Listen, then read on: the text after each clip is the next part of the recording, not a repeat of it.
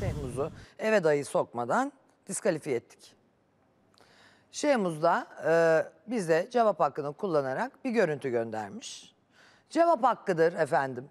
Her yerde dinlenir cevap veren insanın sözü. Siz kendi vicdanınız, mantığınız, sağduyunuzla kendi notunuzu verirsiniz. Gelin biz Şeyhmuz'un mesajını dinleyelim. Öncelikle merhaba. Hakkımda bir takım yanlış anlaşılmalar gerçekleşmiş maalesef. Bunlara açıklık getirmek için bu videoyu çekiyorum. Öncelikle demek istiyorum ki bir erkek olarak bizlerin varlığını önce Allah'a sonra değerli annelerimize borçluyuz. Beni dünyaya getiren de bir kadın. Annem konusunda çok hassas biri olduğumu biliyorsunuz.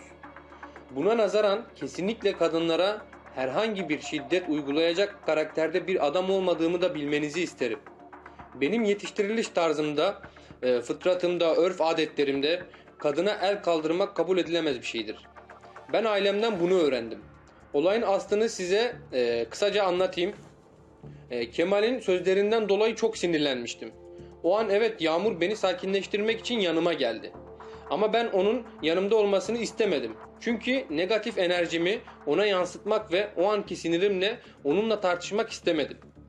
Ona yanımdan gitmesini söyleyince bana hakaretler etti. Ve, ve ben bu hakaretler karşısında sadece sözlü olarak onunla tartıştım. Kesinlikle fiziki temasta bulunmadım. Tüm bu olaylar karşısında gerçekten çok üzgünüm. Annem de fazlasıyla kırıldı. Söyleyeceklerim bunlardır. Hoşçakalın. Anneyi koymuş yanına. Evet cevap bu. Biz zaten fiziksel temasta bulundu değil, fiziksel temasın teşebbüsünde bulundu diyerek bazı görüntüler yayınlamıştık.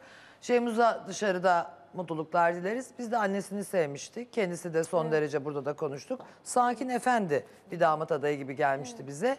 Ta ki o güne kadar. Açıklamaları bunlar. Saygıdan dinledik. Biz burada konuşurken onun da bunu yollaması normal. Cevap hakkıdır. Buyurunuz efendim. Siz kendi içinizde değerlendirirsiniz. Ben bugün müsaadenizi isteyeyim.